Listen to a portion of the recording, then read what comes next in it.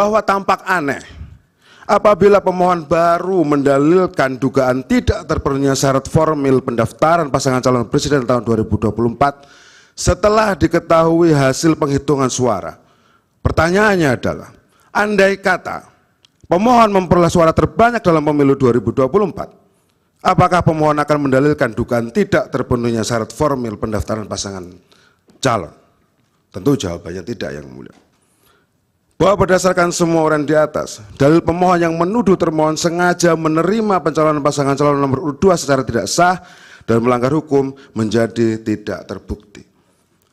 Bahwa pemohon mendalilkan lumpuhnya independensi penyelenggara pemilu karena intervensi kekuasaan sebagaimana tercantum dalam permohonan pemohon pada halaman 35 sampai dengan halaman 50 adalah dalil yang lemah dan tidak berdasar. Download Tribun X sekarang.